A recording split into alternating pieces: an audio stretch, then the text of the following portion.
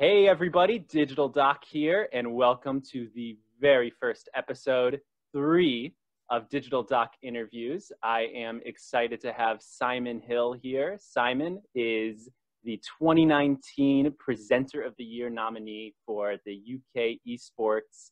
He is a backstage interviewer at TNT Wrestling.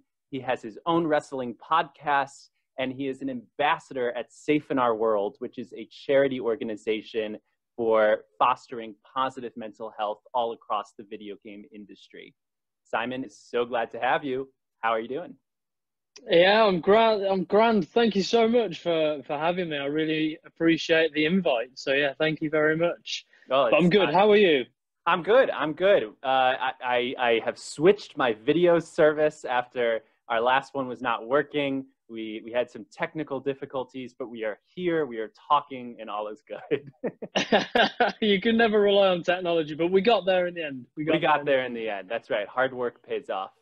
So Simon, uh, I'm going to give it to you right off the bat. I want to hear. I want to hear about you. I, I gave my my rough uh, introduction, but I think you could probably do a better job than I did.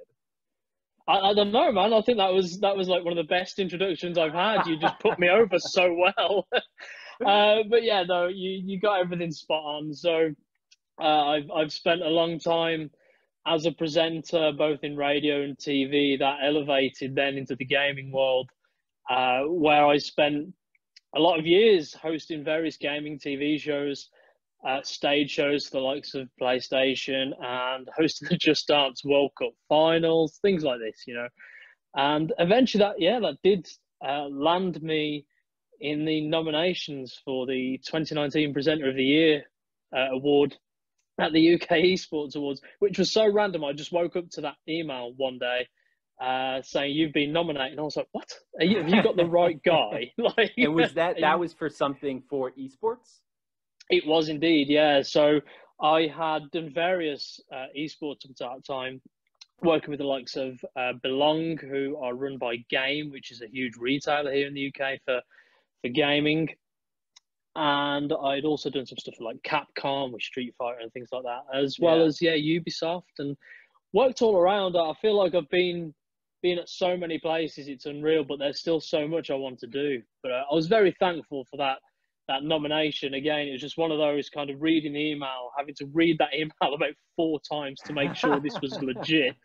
And was it like um, a, a, full show that you got to go to? Got to put yeah. on your tux? Oh man i i went out and i bought a bow tie uh, you know got this this beautiful uh, suit that i i was very proud of.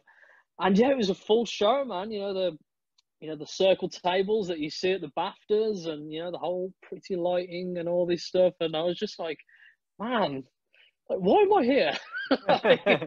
So how did you originally get into presenting in the video game world at video game shows? Uh, so I, I, am going to rewind to to come to the answer to that question. So I started in radio and I used to listen to a radio station here in the UK uh, called Kerrang Radio, and they used to have a nighttime show that was quite adult orientated. It was the most popular nighttime show in the country, and I I was just that guy. Used to have to listen to it every night, 10 p.m., and I was so excited for it every day.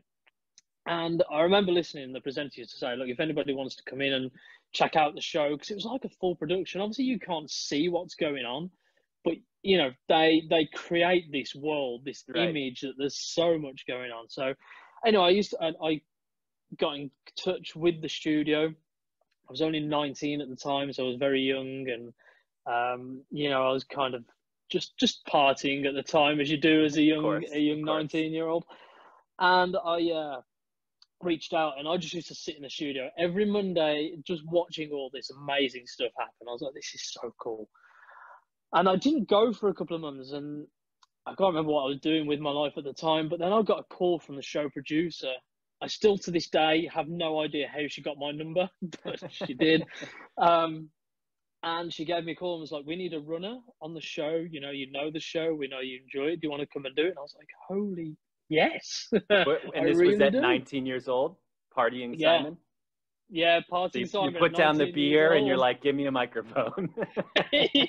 yeah, and that's how it happened. Uh, literally, there was it was that exact transition, and the thing was, I was surrounded by so many talented individuals in that office, and I would dedicate hours and hours of my life, even to the point where I was working for free. Uh, you know, it was work experience uh, for a long time, and own my craft. And at, at the time, and the presenter now, you know, obviously we're, we're great friends these days, but he, on my first show there, he didn't like me. He was like, I don't like the way he speaks, the way he comes across, or anything like this. And the producer fought my corner was like, look, he's new, just let him, you know, we'll train him up, blah, blah, blah. And, um, and yeah, it was, it was, that was the greatest time in my life. Like Wow. those three and a half years at Kerrang Radio were the greatest moments of my entire career, still to this day, because I learned so much, but I learned from some of the best in the industry. And I got to go there every day, have fun, talk to thousands of people. Uh, and we, we'd go on to win multiple radio awards. And it was just one of those crazy experiences, you know, we would get we would get like David Beckham's tattooist in, and we would get him to do some crazy stuff that you would never never expect. And you know, talking about wrestling now, there was a time we, we had British wrestlers, and this is before UK wrestling was a was a really big thing. Uh-huh. Um, we used to get those in, in the show, and I remember that the presenter Tim Shaw at the time would go on air and um, he would put out this this audacious thing, going right, people, if you wanna if you wanna hear, my character was called Don Cole at the time. There's a story behind that as well. Um, if you want to hear Don Cole get slammed live on air by one of these professional wrestlers, Oh then you know vote yes. Well, two and a half thousand texts came in voting yes. So I was like, oh no. Now, outside of the Kerrang studios, it's like a metal flooring almost. It was, it wasn't a soft landing. So anyway, this happened, and he slammed me on this metal flooring, and they they did the whole wrestling gimmick spiel. You know, right, right. uh, they kind of picked me up as I'm winded, and just, uh, you know, and you like, you "Oh, had no man." idea this was about to happen. No, had no idea. No You're just idea. about to get the totally wind knocked oblivious. out of you.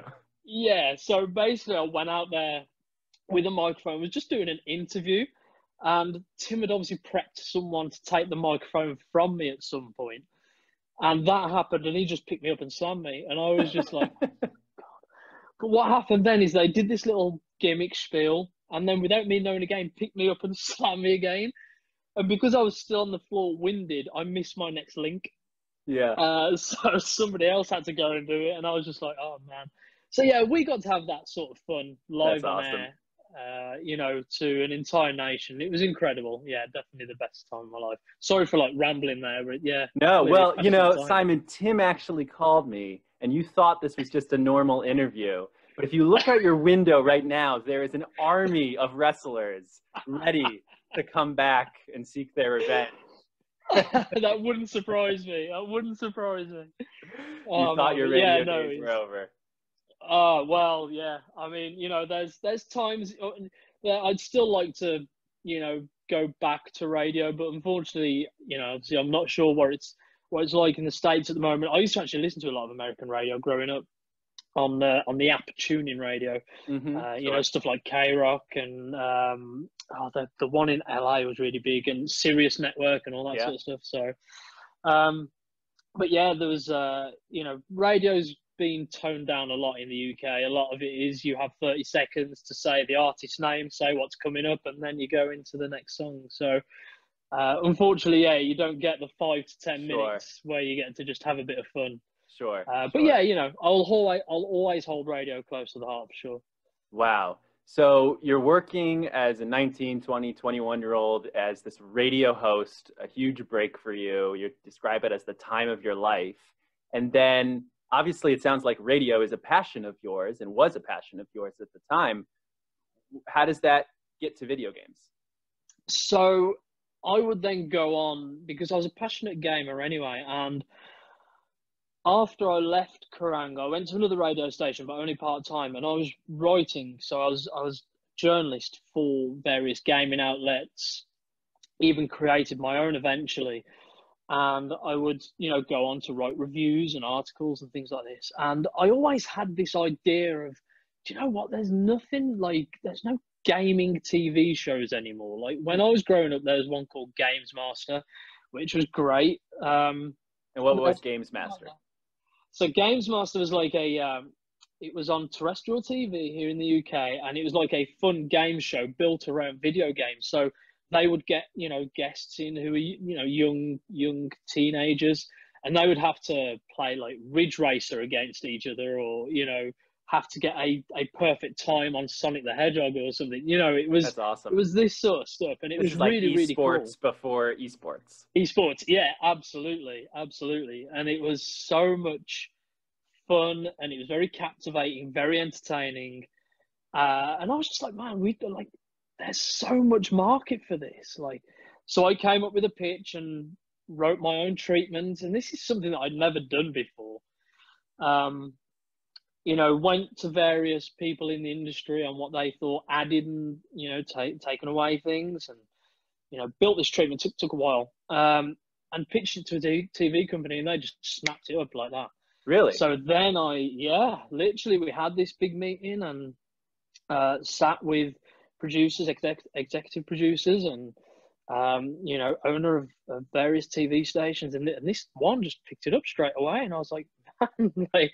I thought this would have been like a, you know, three year process where I'd have yeah. to write several treatments and, uh, yeah, so that happened and we filmed the pilot at a live uh, gaming convention here in the UK. And I remember doing the intro under this 60 foot TIE fighter, um, which, that's, you know, awesome. that, that's a that's a dream for a lot of people, I guess. Yeah. But uh, yeah, I was just and I just had a crowd and you know, I'm not going to lie, I was very nervous. Uh, you know, just hundreds of people watching me, cameras, lights everywhere.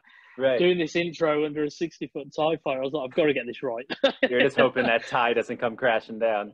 Yeah, absolutely. Absolutely. And then that was my transition into the gaming world and being a presenter within the gaming universe because after that and after the first season, when people started looking at me as like, oh, this this guy's around. You know, he's doing stuff within the industry and he's really, you know, making waves. And then I was given other opportunities. Uh, fortunately, uh, a lot of them were actually by 2K. You know, they gave me various stage slots, interviews. You know, um, uh, they hired me to interview Kyrie Irving uh, at a hotel. That must London. have been pretty cool.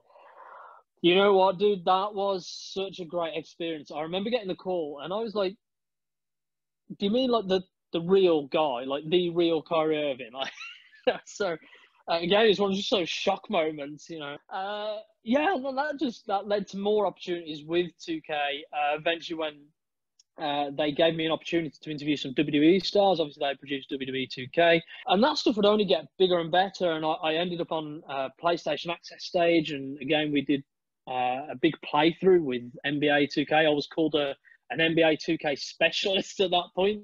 Um, and yeah, I was on, on stage PlayStation Access, and that was incredible. And then I got the wow. opportunity to, I, I got invited by Ubisoft to host the Just Dance World Cup Finals 2019. And mm-hmm. I'll, I'll be honest with you, and they, they know this anyway, that I had no interest in this game whatsoever. Right, right. You know, I, I'm not a good dancer in the slightest, and I don't think a game would ever help me. Yeah. So uh, I'm, I'm so much a lost cause with that. But I was like, you know what, this is a great opportunity. It's a big IP, it's a huge company, and it's on a live stage in front of a live crowd. So I went, I did it. It was a four day event on stage talking for nine hours straight. And how I managed it, I don't know. By the end of it, my vocal cords were shot. Um, but wow. it was possibly the most adrenaline fueled, energetic stage show I've ever hosted. And I mean, it those shows incredible. they have like real professional dancers playing these oh, games. absolutely. I mean, it's pretty, yeah. it's pretty awesome. Yeah, I, I was just reading a book. Um, uh, it's called something along the lines of uh, Evan in the other room, but video game teaching uh, emotion through video games, emotion through yeah. design. And they talked about Just Dance, uh, and they, you know, it was a decision they made um, at some point uh, in, development to not show the person, the the player on the screen. I think originally it was more of like you know a mirror type thing, and instead they showed this avatar who, no matter what you're doing, looks great. You know, the avatar yeah. looks like a fantastic dancer, and it makes you feel better about yourself, less uh, less self conscious, and it makes you, you know, um, feel confident and and you know whether you look good or not, maybe there'll be room room for for improvement. But these people at these shows certainly look good. Oh man, they really do, and and, and even the ones that you know were, were slightly amateur. They, again, they they have that self confidence, that aura about them that they're like, oh, you know, I'm going to try and I'm going to beat the best, you know. Yeah. And we would get like every time a, a record was broken or score was was broken and things like this, the crowd would go nuts. So it was just, it's such a passionate community, and you're right, it really does tie into that emotional attachment. That you know, these guys are focused on that silhouette on screen, that avatar. Right that really does project the best out of people. Right. And I think that was part of the charm, you know, it's that's why people are so invested in it because there is that feeling of I can do this no matter what because you know whether you get a good score a great score an amazing score you get a score and that's self-satisfying and I really really feel I, I have a very soft spot for that community after being given that opportunity um, that's awesome. You know, and again, yeah, that was. So now you're a great Just Dance player. You play it every day. it was um, it was a great experience certainly, and I I definitely be up for doing that again, hundred percent.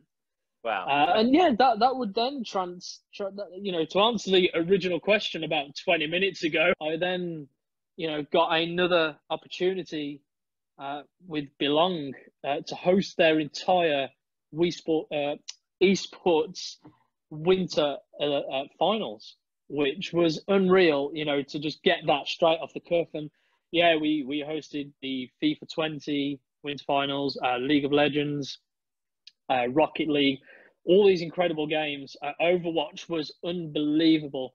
The community passion. And it's like being at a football stadium when you're hosting uh, an Overwatch final. It's unbelievable because wow. there is so much dedication, uh, and people are really invested in that. So yeah, yeah. Uh, again, a lot of energy, a lot mm. of um, just fun, memorable moments. And yeah, during that transition from my time from Deep Silver into then getting back into the, the presenting side, that's when I was nominated for the esports stuff. Uh, so I got that email, randomly woke up, you've been nominated for Presenter of the Year.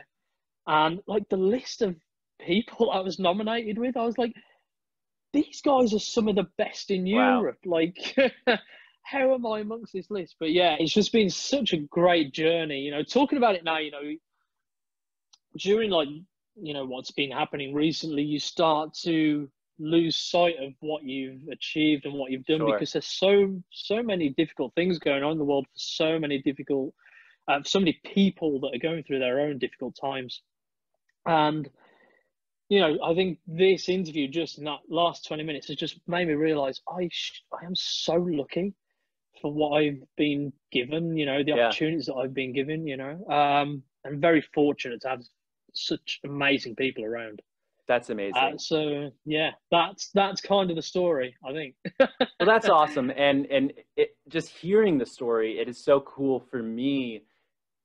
One of the things I, I like to think about is how when you're work, you know, you're moving every day through life, things kind of seem random, and you know, you have this job, and maybe this opportunity comes up, and and you know, maybe something you don't like, but then when you look back at it over a span of months or years you see that it was all very linear and you couldn't have gotten yeah. to you know the end. You couldn't have gotten to that stage being that presenter of the year nominee without first having that radio job. Absolutely and i couldn't agree more. I think i think you know every every story has a meaning to your next adventure right? So right, right. you know right. That's a very video game uh you know line right there, right? That should be the yeah, tagline of the next Uncharted Five, right? oh yeah, absolutely. Yeah, we need to talk Uncharted, dude. Yeah. Yeah. Absolutely. So speaking of Uncharted, uh, Simon, how I found you was because I was looking at Safe in Our World, um, which we'll we'll talk about soon as well. And you published an article over there um, along the lines. Uh, I believe the title was uh, Nathan Drake didn't just save Elena Fisher's life; uh, he saved mine too. So yeah. I read through that article and was very moved. This is required reading for the episode. Everyone go check out Simon's article. Uh, it's very well written. Um, Thank you. But I'd love to talk about this. Uh, first of all, Uncharted 2, the game that it's about, is, is my favorite game. So I'm ready to kind of dive into to Uncharted a little bit. Uh, sure. But I want to hear what happened. Yeah, so uh, you know, I've always been very outspoken about mental health, and Safe in Our World is an incredible organization that supports, helps, and guides people who, you know, may need that extra bit of help to look at, you know, what they need to do to help them start to, you know, I, I don't think there's ever a perfect life, but I think, you know, to to look at a more positive outlook in life and how you can improve your quality of life to you know improve that mental stability. And safe in our world was one of those i was approached by uh, neil broadhead who who's one of the co-founders who's a great friend of mine known neil for a very long time. And he approached me asking if i wanted to be an ambassador for safe in our world. And it, there was no hesitation from me mm-hmm. uh, because I have suffered from mental health myself uh, a lot. Uh, even recently during the pandemic, uh, you know, I've gone back down a similar route. By you know, I'm on I'm on a great path and supported by many amazing people that are helping me through that. And I wanted to help others, uh, you know, in that field. And I always wanted to explore that. I just wasn't sure how to. Uh, but Neil gave me that platform and that opportunity again to reach out to people. And he asked me if I would write an article um, about past experiences with mental yeah. health. And again, as difficult as writing that was, uh, it was something that I was very honored to to you know be asked to do. So you know, I, I sat on the edge of my sofa for a couple of hours and you know, there was a lot of typing and then, you know, then deleting certain things and go because I didn't.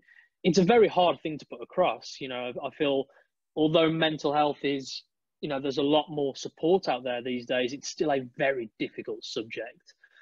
Um, so you know, I and there were even times where I, wipe, I was wiping tears off my own keyboard because it made me rethink of those times that I was in a really bad place. So when it came to, you know, the subject, I was like, you know, I remember the time that I was going through this really, really tough, um, you know, moment in my life where I just didn't know what to do, where to turn, who to turn to, how to tackle it.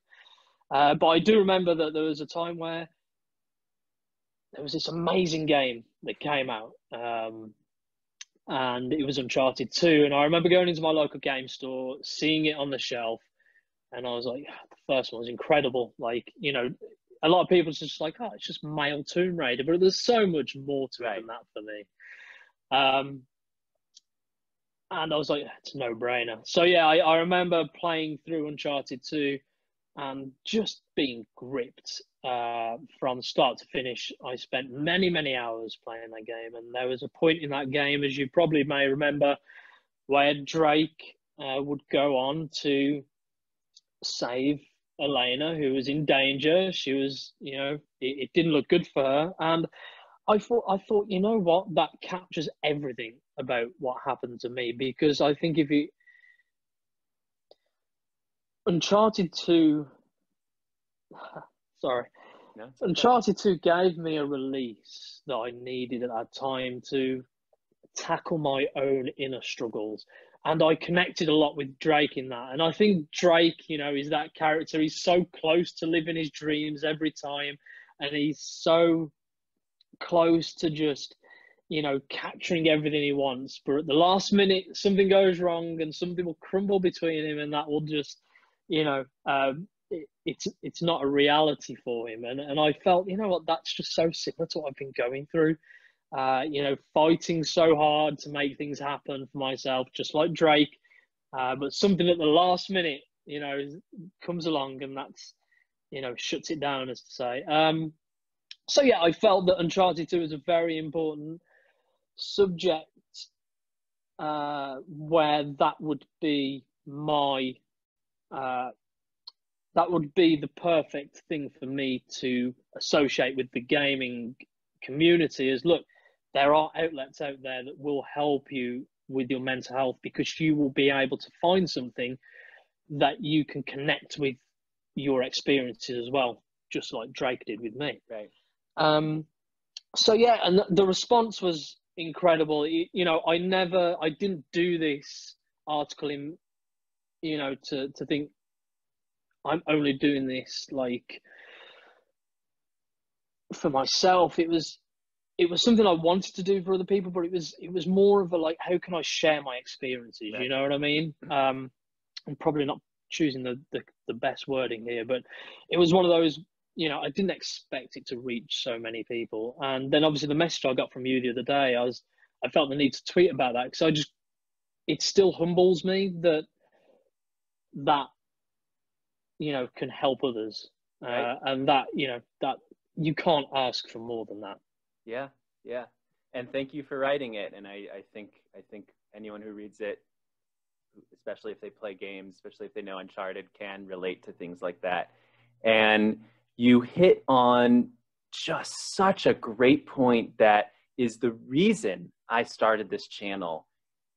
And it's because video games are unlike any other medium. I mean, you can watch a movie about a character that you can sympathize with, and and right, Indiana Jones is almost a, a, a parallel to Uncharted in many ways. Um, but most people, maybe some, but most people probably aren't on the verge of tears thinking about Indiana Jones and what it meant to them. And for Uncharted, I mean, that game was not made to be a, a games for change mental health experience, right?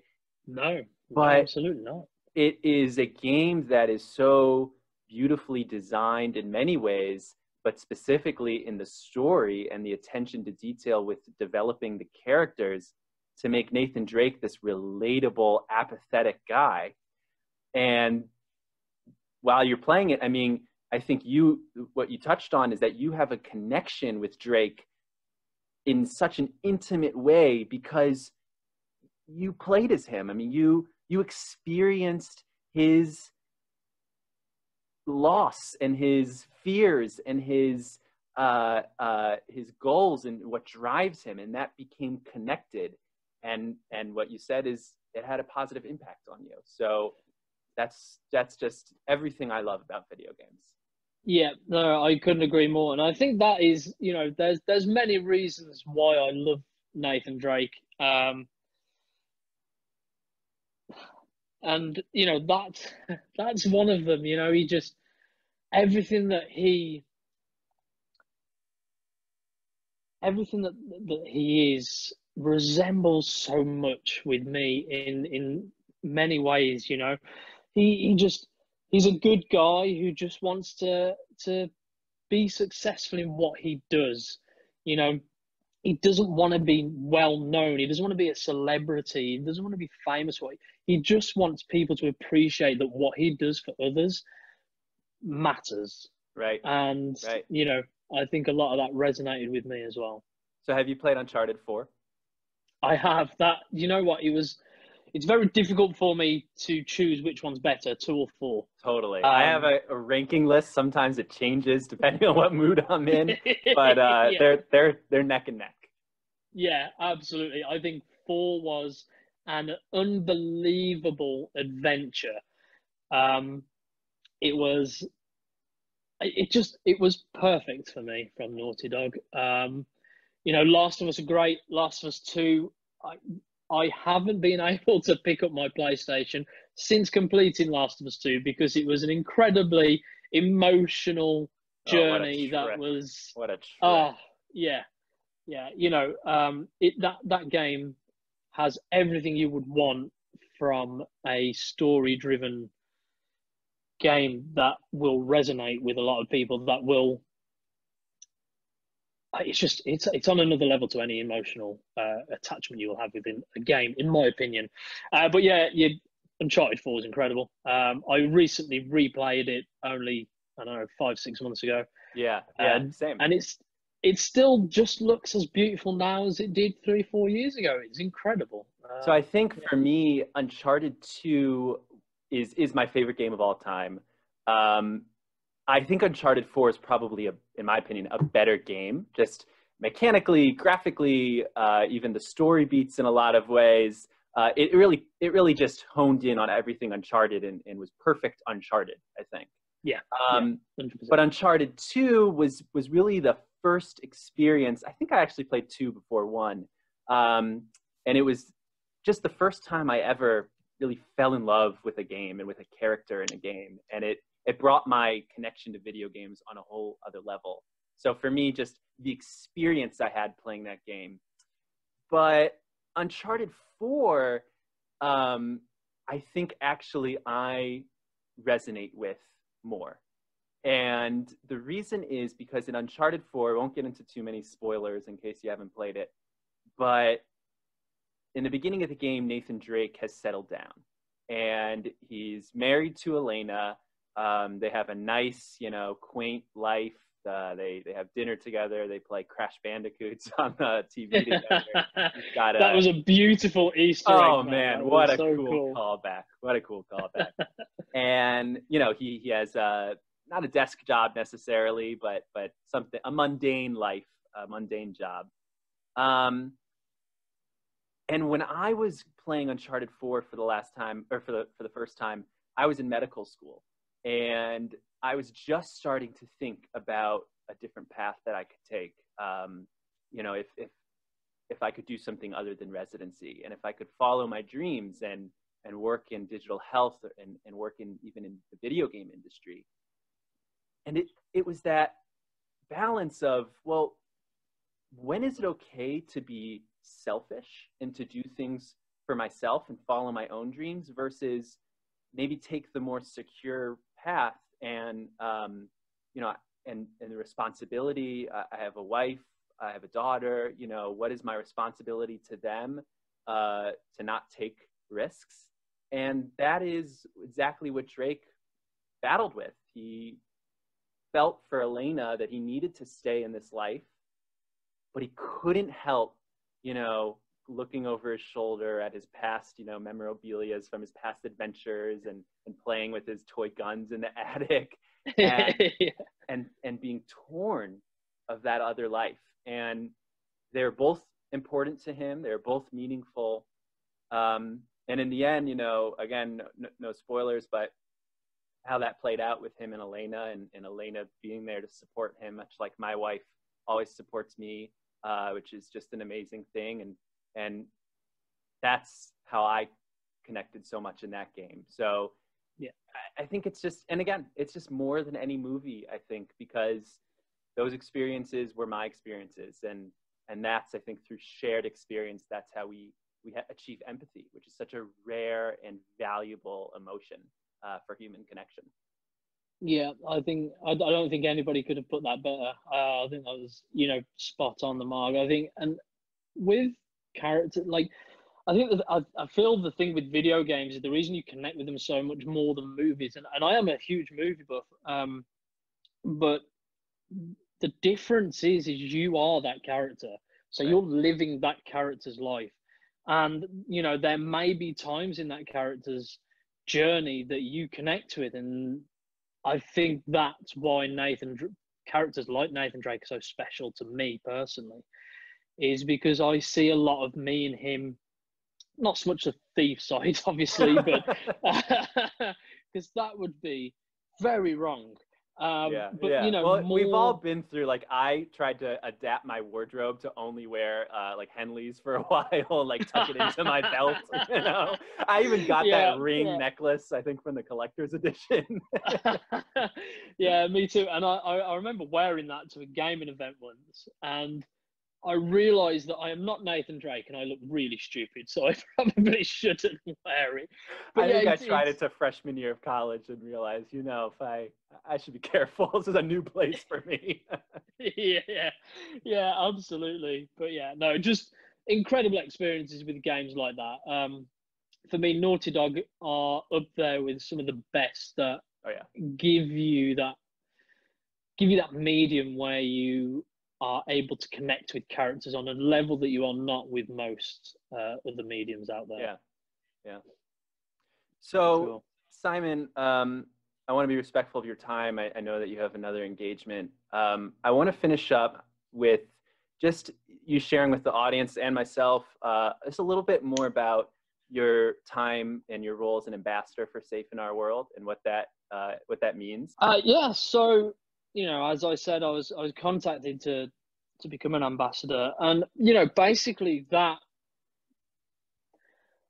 we're the guys that you know will share that that knowledge, uh, those outlets that you can go to, uh, you know, if you are having a tough time, um, and you know, share content that will help you know direct you on how you can yourself um, you know help start the process to to building a better better state of mental health.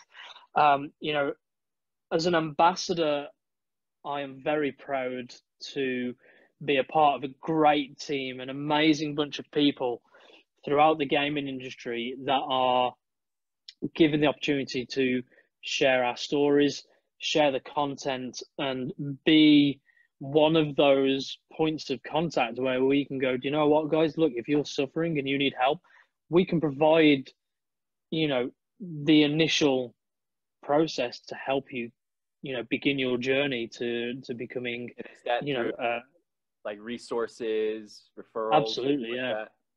yeah, And- and- absolutely. Safe in Our World also has that. Just everyone go check it out. I think it's really interesting. A curated list of uh, video games that they think are pro mental health. Um, Yeah. So that's that's been really interesting. I'm work, working my way through them. I actually just put up a, a review online, uh, uh, an impact review, which is my new video game review series, looking specifically what are the positive impacts that a game puts forth. Uh, so I just played um, Kind Words for the past uh, couple of weeks, Amazing, which is amazing, what an experience. Um, isn't it?